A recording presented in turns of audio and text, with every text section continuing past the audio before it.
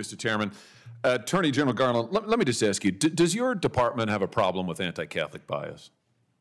Uh, Our department um, is, uh, uh, protects all religions um, and all ideologies. It does not have uh, any bias against any religion of any kind. Well, you could have surprised me because given the resources that you are expending and the apparently intelligence assets that you are deploying against Catholics, it appears, and other people of faith, while simultaneously turning a blind eye while people are executed gang style in the streets of our cities, including in my home state, I- your answer frankly surprises me. Let's talk about the Mark Houck case, for example. You've been asked about this already today, and frankly, your answers really astound me. This is a case where a Catholic pro life demonstrator, father, was accused of disorderly conduct in front of an abortion center. The local prosecutor, the Philadelphia district attorney, who is a Democrat, a liberal, very progressive, declined to prosecute. There was a private suit that got dismissed. And then after all of that, your Justice Department sent between 20 and 30 armed agents in the early morning hours to the Houck's private residence to arrest this guy after he had offered to turn himself in voluntarily. Here's the photo. Once again, you can see the long guns, you can see the ballistic shields, you can see that they're wearing bulletproof vests. Why did the Justice Department do this? Why did you send 20 to 30 SWAT style agents and a SWAT style team to this guy's house when everybody else had declined to prosecute and he'd offered to turn himself in? Determinations of how to make arrests under arrest warrants are made based uh, by the tactical operators um, in the uh, district. They are not, But you surely looked into it by this point, right? they, You, you know the answer, surely. they, all I know is what uh, the FBI has said, which is that they made decisions on the ground as to what was safest and easiest. So you're- do not agree with your description of what happened on the scene. You don't agree with my description. I'm pointing out what the photo is. There are agents here who have long guns and ballistic shields. Let's take a look at the hardened criminals that your Justice Department sent these armed agents to go terrorize on that morning. Here they are. Here they are at Mass. Here's the seven children with Mr. Houck and his wife. In this early morning, they were all at home. Mrs. Houck has said repeatedly the children were screaming. They feared for their lives. You got these agents demanding that he come out. They've got the gun, she said, pointing at the house and at them. He has offered to turn himself in. And this is who you go to terrorize. What's really interesting to me is this seems to directly contradict your own memorandum about the use of force at the Justice Department. You say officers may use only the force that is objectively reasonable to effectively control an incident. Are you telling me that, in your opinion as Attorney General, it was objectively necessary to use 20 or 30 SWAT style agents with long guns and ballistic shields for these people? What I'm saying is that decisions about how to go about this were made on the ground by FBI agents. So you're saying you don't know? I'm, I'm saying what I just said. Which is that you're abdicating responsibility? I'm not abdicating Then responsibility. give me the answer. Is do you think, in your opinion, you are the Attorney General of the United States?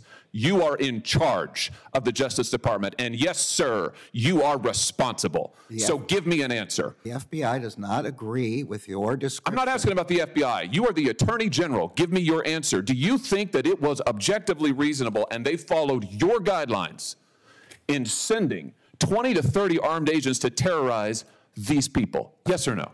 The facts I have, which are those presented by the FBI, are not consistent with your description. So you think it was reasonable? I'm saying the facts are not as you describe.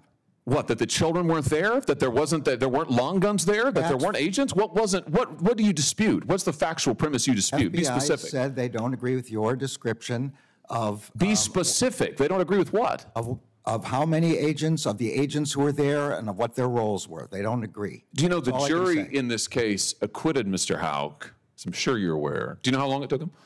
I, I am aware, and we respect the decision of the jury. Do you know how long it took him? I don't know. One hour. One hour.